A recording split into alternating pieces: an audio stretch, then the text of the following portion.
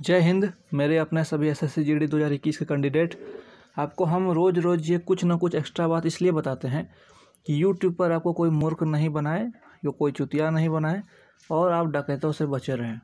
आज हम आपको बताने वाले हैं कुछ एक्स्ट्रा बात उसी प्रकार का कि टोटल वैकेंसी कितना है। अब टोटल वैकेंसी तो जानते ही हैं, और टोटल वैकेंसी बताने वाला बात क्या है।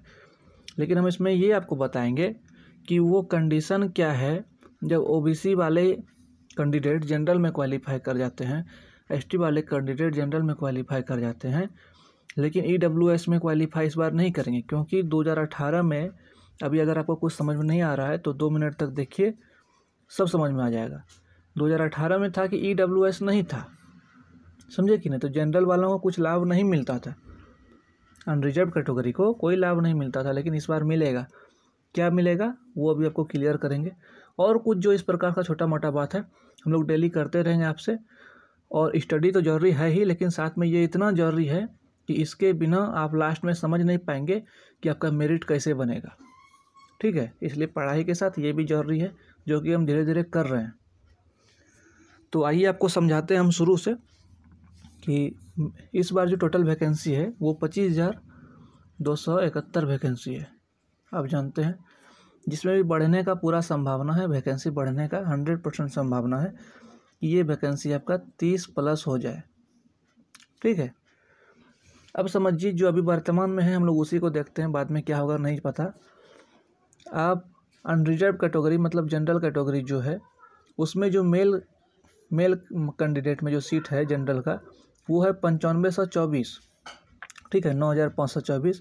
ई डब्ल्यू एस का जो सीट है वो है दो हज़ार दो सौ बारह ओ बी सी का, लगभग चार हज़ार नौ सौ तिहत्तर और एस टी का दो हज़ार तीन सौ छप्पन एस सी का तीन हज़ार तीन सौ उनसठ। ये मेल में हो गया, सर। ठीक, आप फीमेल में उस प्रकार से देख सकते हैं, उतना बोलेंगे तो फिर वीडियो लंबा होगा। तो मेल में टोटल कितना हो गया? सीट आपका बाईस हज़ार चार सौ चौबीस और फीमेल में आप देख लीजिए, फीमेल में आपका सीट हो गया दो हज़ार आठ सौ सैंतालीस। दोनों को जोड़ने पर आपका पुर जाएगा। पच्चीस हज़ार दो सौ इकहत्तर। ये कुछ विशेष बात तो है नहीं, ये बात तो आप भी जानते हैं। लेकिन अब विशेष बात हम क्या करने वाले हैं, वो सुनिए।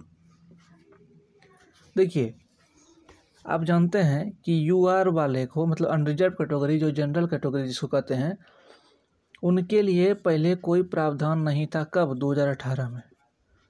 ठीक है? लेकिन इस बार जो है, उनके लिए ई डब्ल्यू एस निकाल दिया गया है। इसमें उनको दस परसेंट आरक्षण मिलता है। दस परसेंट आरक्षण अभी आपको सब समझा देते हैं हम। उसमें वो भी कहीं टेंशन नहीं लेना है। अब आप ये समझिए कि आखिर सिस्टम क्या है। मान लीजिए मेरिट बना, हम फाइनल मेरिट का बात कर रहे हैं फाइनल का। अभी आप लोग जो फ़िज़िकल का जो कटअप होगा, चाहे पीटी का कटअप हो, या डीएमई का कटअप हो, या एग्ज़ाम के बाद हो, ठीक है, ये सब का कटअप के बाद आपको ये नहीं पता चलेगा कि आप किस कैटेगरी में क्वालिफाई है, ये आपको भी पता चलेगा ही नहीं। वो आपको तब पता चलेगा जब फाइनल मेरिट आएगा। जब फाइनल मेरिट आएगा तो आपको पता चलेगा कि आप किस कैटेगरी में क्वालिफाई हैं। कैटेगरी मतलब ऐसा नहीं, अब, अभी तो आपको चलेगा ही। आप मान लीजिए एस से हैं तो आपको, एससी तो आप हैं ही, पता चलेगा। लेकिन वो तब पता चलेगा, हो सकता है कि आप एससी से हैं और जनरल में क्वालिफाई कर गए हैं। तो वो फाइनल मेरिट के समय पता चलेगा? अब हम अगर आपको ज़्यादा लगता है कि ज़्यादा घुमा फिरा रहे हैं गोल गोल तो आइए अब आपको हम वास्तव में समझाते हैं कि बात क्या है। समझिएगा आप अच्छा से ध्यान से समझिएगा। कहा कि ये सब बात आपको एक्स्ट्रा पास समझाएगा कौन यूट्यूब पे? सब तो यहाँ कोर्स बेचने आया हुआ है। समझिए, उदाहरण। अगर ओबीसी का कटअप सत्तर है, उदाहरण मान रहे हैं। ओबीसी का कटअप फाइनल कटअप सत्तर गया है आपके डिस्ट्रिक्ट एरिया से, आपके स्टेट से, आपके कैटेगरी से। ठीक है, मेल या फीमेल जो भी हो, अगर आपके उधर से सत्तर गया है ओबीसी का और जनरल का गया है बहत्तर, ठीक है, ये है जनरल का यूआर का। और आपका नंबर है सर पचहत्तर। कल्पना कीजिएगा, आपका नंबर है पचहत्तर। लेकिन आपका स्टेट से कट ऑफ़ गया, सत्तर, आप तो पचहत्तर नंबर लाए थे, लेकिन आप देखें कि हमको सत्तर नंबर से ही क्वालिफाई कर रहा है। तो क्वालिफाई तो आप हो ही जाइएगा। लेकिन ये पूरा पूरा संभावना है कि आप अगर पचहत्तर नंबर है तो आप जनरल में क्वालिफाई होइएगा। अगर यहाँ पे एक सौ सीट था और यहाँ पे डेढ़ सौ सीट है तो आप ये अपने एक सौ सीट को छोड़ दीजिएगा पहले, उसके बाद आप डेढ़ सौ सीट वाला में क्वालिफाई कर जाइएगा आराम से। जनरल में क्वालिफाई करने का मतलब है कि आप आराम से क्वालिफाई किए। आप बहुत ही मेधावी छात्र हैं मेरिट वाले छात्र हैं, इसलिए आप जनरल में क्वालिफाई किए। दूसरा बात, आपके पास जान बचाने का एक ऑप्शन यही है कि अगर आप जनरल में क्वालिफाई नहीं कर सकते, या अगर कुछ ऐसा कारण हो गया पोस्ट प्रेफरेंस को लेकर के कि जो पोस्ट प्रेफरेंस आप दिए हैं, जितना नंबर में जनरल में गया है, उतना नंबर में आपको जनरल कैटेगरी में क्वालिफाई नहीं कर सकता है। क्योंकि मान लीजिए आप पोस्ट प्रेफरेंस दिए हैं सी आई ठीक है? और सी में जनरल मतलब यू आर कैटेगरी से कटअप चले गया छिहत्तर और आपका है, आप ओ बी सी हैं और आपका चले गया है पचहत्तर। ठीक है? तो आप यू आर में आपको कभी क्वाली नहीं क्वालिफाई नहीं करवाएगा। बात को समझिएगा, हम क्या बोल रहे हैं? बहुत गहराई से बोल रहे हैं। जो स्टूडेंट समझदार होंगे, वो मेरे बात को फिर से घुमा करके सुनेंगे और समझेंगे। हम जो समझा रहे हैं। हमको तो लगता है ये सब चीज़ मिटा दें, उसके बाद आपको समझाएँ। लेकिन फिर मिटाने के बाद लिखने में बड़ा तकलीफ़ होगा। इसलिए हम यहाँ से आपको समझाते हैं, फिर से समझिए। घबराना नहीं है। हम सब बात, एक एक गणित का क्लास जो हम ले रहे हैं, मैथ का क्लास, एक एक कॉन्सेप्ट गरीब बच्चे की तरह समझा रहे हैं। गरीब बच्चा मतलब ऐसा स्टूडेंट जो आज तक कुछ पढ़ा ही नहीं है, उसके लिए क्लास हम शुरू किए। और उसको सब बात समझ में आ रहा है। ठीक है? तो छोड़िए, उतना लंबा आपको नहीं घुसाएँगे ऐसे समझिए। अब आप सर यहाँ से समझिए, हम फिर से आपको समझा रहे हैं। देखिए, आप मान लीजिए ओबीसी कैंडिडेट हैं। अभी सबका हम उदाहरण देंगे S C S T general E W S सबका लेकिन आप पहले समझिए कि आप एक ओ बी सी कैंडिडेट हैं। और आपके स्टेट से, आपके जनरल डिस्ट्रिक्ट या बॉर्डर डिस्ट्रिक्ट या नक्सल डिस्ट्रिक्ट एरिया से सत्तर गया है फाइनल कट ऑफ़ सेवेंटी और आपके वहाँ मात्र एक सौ सीट है। समझिएगा बात को। लेकिन आप जो कैंडिडेट हैं, आपको नंबर था पचहत्तर। आपका कितना नंबर था? पचहत्तर नंबर आपका आ रहा था। पचहत्तर नंबर तो आपका आ रहा तो मैक्सिमम नंबर है, लेकिन आपके वहाँ सिलेक्शन हो रहा है सत्तर नंबर में ही। तो आप तो खुश हो गए कि मेरा पचहत्तर नंबर सही बात है, खुश होना भी चाहिए। तो इस कंडीशन में लगभग स्टूडेंट का मतलब जो क्वालिफाई हो जाता है, वो जनरल में आकर के क्वालिफाई हो जाता है। क्योंकि जनरल में इसलिए क्वालिफाई होता है क्योंकि जनरल का फाइनल कटअप गया है सत्तर। समझिएगा जनरल का फाइनल कटअप गया है सत्तर। और आपका है पचहत्तर तो आपको भी क्वालिफाई कर लेगा जनरल में ही। मतलब आप इस एक सौ वाले सीट में नहीं हैं, आप इस डेढ़ सौ वाले सीट में आ गए। अच्छा बात हो गया, आप मेरिट वाले स्टूडेंट हैं, आपको मौका मिल गया जनरल के साथ फाइट करने का। तो आप यहाँ घुस गए। लेकिन सबसे बड़ा टर्म एंड कंडीशन क्या है? सर, ये सब बात आपको पूरे यूट्यूब में कोई नहीं बता पाएगा। कैसे बताएगा? नया लड़का है, पैदा लिया है, आ जाता है वीडियो बनाने, कैसे समझेगा? मेरे तरह है क्या? दो सौ, दो हज़ार सोलह से लगे हुए हैं। दो हज़ार पंद्रह में जब हम लोग का बहाली था, उसी समय से ये सब चीज़ में मंथन कर रहे हैं। साधारण है क्या? समझिए। अब एक टर्म एंड कंडीशन क्या है? आप तो क्वालिफाई कर गए जनरल में। लेकिन कब आपको जनरल में मिलेगा सीट कब? ये समझना पड़ेगा आपको। यहाँ डेढ़ सौ सीट हम जान रहे हैं। लेकिन आपका अगर फ़र्स्ट प्रेफरेंस मान लीजिए आपका फ़र्स्ट प्रेफरेंस सी है। आप ओ बी सी कैंडिडेट हैं, हर हमेशा आपको मानना है कि आप ओ बी सी कैंडिडेट हैं। आपका फ़र्स्ट प्रेफरेंस है सी आई एस एफ़ ठीक है? और सी आई एस एफ़ का फाइनल कटअप जा रहा है छिहत्तर। समझिएगा, हम जो बोलना चाह रहे हैं सी आई एस एफ़ का फाइनल कटअप जा रहा है छिहत्तर और आपका नंबर है पचहत्तर। तो आप जनरल डिस्ट्रिक्ट सॉरी तो आप जनरल कैटेगरी में कभी क्वालिफाई नहीं कर सकते। क्या समझे? इसलिए क्वाली क्वालिफाई नहीं कर सकते।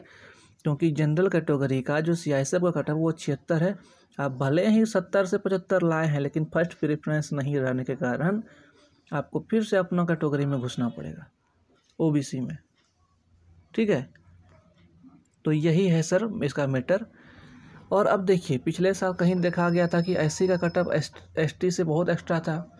कहीं एसटी का कटअप एस सी से बहुत एक्स्ट्रा था। तो ऐसा होता है, ऐसा कब होता है? जब सीट अधिक कम होता है। आपके स्टेट में, आपके डिस्ट्रिक्ट एरिया में तब। अब समझाते हैं यहाँ ये ई डब्ल्यू एस और जनरल में क्या विशेष अंतर है। फीमेल कैंडिडेट वालों के लिए भी सेम कंडीशन अप्लाई होगा, लेकिन आप तत्काल समझिए हम क्या बोलना चाह रहे हैं। अगर अगर यू आर कैंडिडेट का कहीं से कटअप जाता है सत्तर, ठीक है तो हंड्रेड परसेंट गारंटी है कि ई डब्ल्यू एस का कटअप जाएगा अड़सठ या उनहत्तर या कुछ भी हो सकता है, पैंसठ भी जा सकता है। यही मतलब इसका कंडीशन यही है कि वहाँ ई डब्ल्यू एस के कितने सारे स्टूडेंट अप्लाई करते हैं। मान लीजिए ई डब्ल्यू एस में, मान लीजिए कोई स्टेट है, ठीक है? वहाँ यू आर में मतलब जनरल कैटेगरी में सीट है एक सौ। और ई डब्ल्यू एस में सीट दे दिया आपका बीस टू। समझिएगा बात हम क्या बोल रहे हैं? ई डब्ल्यू एस में सीट दे दिया बीस टू। लेकिन लड़का यहाँ से पंद्रह ही अप्लाई किया। ई डब्ल्यू एस कैटेगरी से तब तो काफ़ी कटअप कम रहेगा जनरल वालों से। तो ये हम कहने की बात कर रहे थे हम हम यही बोल रहे थे कि 2018 में जनरल कैंडिडेट को छिपने के लिए कोई जगह नहीं था। लेकिन अब क्या है 2021 में अगर कोई कैंडिडेट है जनरल वाले, उसका अगर सत्तर नंबर है, समझिएगा बात को, सत्तर नंबर है और वो ई डब्ल्यू एस लगा करके अप्लाई किए हैं। ठीक है? और उनके कैटेगरी से, उनके कैटेगरी से कटअप जितना भी जाए, लेकिन अगर ई डब्ल्यू एस कैटेगरी से कटअप आ जाता है, उनके आसपास, सत्तर के आसपास तो ई डब्ल्यू एस में वो क्वालिफाई कर जाएँगे। मतलब कहने का मतलब आप नहीं समझे? ऐसे समझिए कि जैसे ओ बी सी के पास या एस टी या एस सी के पास ऑप्शन था ना पहले, कि भाई वो अपना कैटेगरी छोड़ के जनरल में घुस सकते हैं। सब कोई जनरल में घुस सकता है, सब कोई घुस सकता है। समझे? ई डब्ल्यू एस भी घुस सकता है। लेकिन मेन बात है कि अगर अगर ई जो ई डब्ल्यू एस हैं ई डब्ल्यू एस में सिर्फ़ जनरल वाला ही घुसेगा। इस बार जो नियम है गुरु वही है कि ई डब्ल्यू एस जो बनाया गया है, सिर्फ़ और सिर्फ़ जनरल वालों के लिए बनाया गया है। ई ई डब्ल्यू एस में नहीं ओ बी सी घुसेगा, नहीं एस सी घुसेगा, नहीं एस टी घुसेगा। तो बताइए, सुरक्षित हुआ ना जी जनरल वाला? ये बाईस सौ बारह जो सीट है, इसमें ओबीसी वाला का कोई हक नहीं है, एसटी वाला का कोई हक नहीं है एससी वाला का कोई हक नहीं है। अब आप समझ लीजिए कि जनरल वाले का हक में ये पूरा है और ये पूरा है। लेकिन ये तभी है जब वो सर्टिफिकेट लगाएगा। अभी सर्टिफिकेट का कोई काम नहीं है, मेडिकल के समय। और कोई सर्टिफिकेट ऐसा नहीं है कि अभी का डेट रहना चाहिए, अभी का वो रहना चाहिए। ये सब गलत बात है। मेडिकल के समय कहने का मतलब कि बहुत पुराना नहीं रहना चाहिए। तीन साल तक में रहना चाहिए, उसका वैल्यू मिलता है। लेकिन आप फ़िज़िकल होने दीजिए, उसके बाद फॉर्म ए सर्टिफिकेट अप्लाई कीजिएगा धीरे धीरे बनाइए, क्या टेंशन है? तो इसमें बहुत मंथन है, जितना हम लोग चलेंगे, उतना विशेष बात है। तत्काल आप फिर से एक बार समझ लीजिए साफ़ सुथरा में कि कोई भी कैंडिडेट आप ऐसे कैंडिडेट हैं, आप एक्स्ट्रा नंबर ला करके जनरल में क्वालिफाई कर सकते हैं एसटी वाले भी क्वालिफाई कर सकते हैं जनरल में ओबीसी वाले भी एक्स्ट्रा नंबर ला करके क्वालिफाई कर सकते हैं। ई डब्ल्यू एस वाले भी एक्स्ट्रा नंबर ला करके क्वालिफाई कर सकते हैं। लेकिन अगर ई डब्ल्यू एस वाले के पास एक्स्ट्रा नंबर नहीं है तो वो अपने कैटेगरी में रह जाएँगे, जिस प्रकार से सभी अपने कैटेगरी में रह सकते हैं, उस प्रकार से। लेकिन यहाँ गलती यही था, पिछले बार की ई डब्ल्यू एस नहीं था, और इस बार अच्छा बात यह है कि ई डब्ल्यू एस है, जो कि जनरल कैंडिडेट जो ई डब्ल्यू एस सर्टिफिकेट लगाएँगे, या ई डब्ल्यू एस कैटेगरी से अप्लाई किए हैं, उनको लाभ मिलेगा कि अगर वो जनरल का कटअप अगर जनरल का कटअप अगर चले गया है पचहत्तर, कहीं से। ठीक है? तो ये होगा आपका, मान लीजिए अगर तिहत्तर या बहत्तर नंबर था तो आपके ई डब्ल्यू एस कैटेगरी तक अगर कटअप मिल गया तो आप उसमें शामिल हो जाइएगा। नहीं तो पिछली बार था क्या डायरेक्ट बाहर? इस बार आपको बचने का एक उपाय दे दिया है ई डब्ल्यू एस समझे? तो यही सब विशेष बात है। और जैसे होगा कुछ कुछ बात हम क्लियर कर देंगे। अगर इसमें भी कुछ प्रश्न रह गया हो तो आप टेलीग्राम ग्रुप जो है all India S S group के नाम से है। उसमें सर्च करके आप घुस जाएँ और एक हम आप लोग के लिए स्पेशल चैनल बनाए हैं सीक्रेट भैया बी एस एफ़ के नाम से। इसको सर्च कीजिएगा यूट्यूब पे। इसमें हम सिर्फ़ आपको दो मिनट के वीडियो में सब कुछ बताने का प्रयास करते हैं, क्या फैसिलिटी है, क्या सैलरी है, कैसे क्या होता है प्रमोशन वगैरह। ये हम कल से ही शुरू किए हैं। ठीक है, इच्छा होगा तो आइएगा, नहीं तो कोई बात नहीं। और देखते हैं, समय निकालते हैं आप लोग के लिए। क्लास चलते रहेगा, टेंशन नहीं लेना है। अभी समय है, हमको पूरा विश्वास है कि आपको हम करवा देंगे। धन्यवाद, जय हिंद।